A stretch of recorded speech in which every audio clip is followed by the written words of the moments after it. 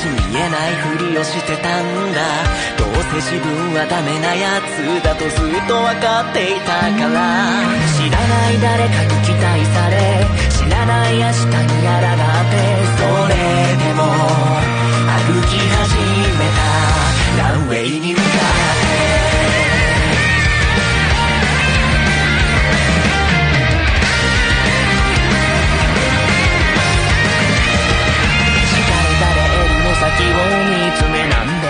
何でもないとごまかした。スポートライトはいつも自分の少し後ろを指してる。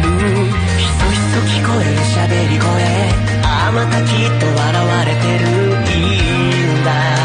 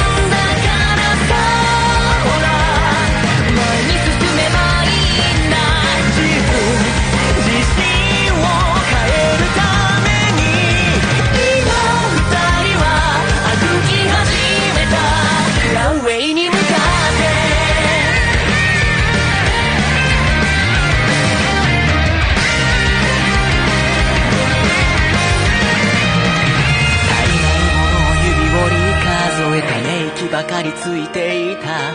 どうせ自分はダメなやつだと分かっていてもそれでも。ないならそれを補えばいい。ダメならそれに抗えばいい。なぜだろう。眩しく見えた。ぶつかりぶつけ合ううちに大事なことに気づけた。それは難しいこと。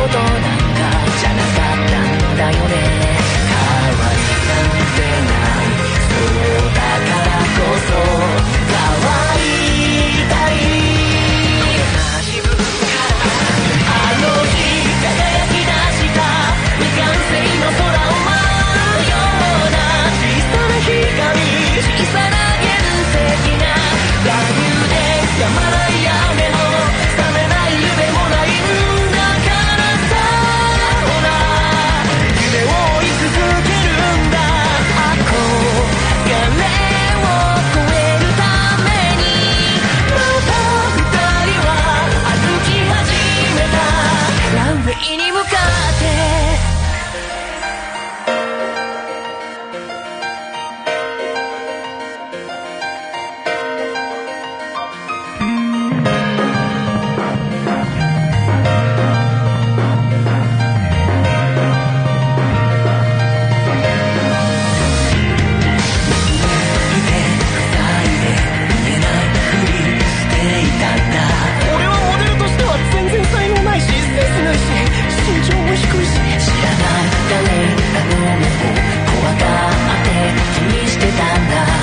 なんであんなこと言われてそんなに頑張れるんだよ。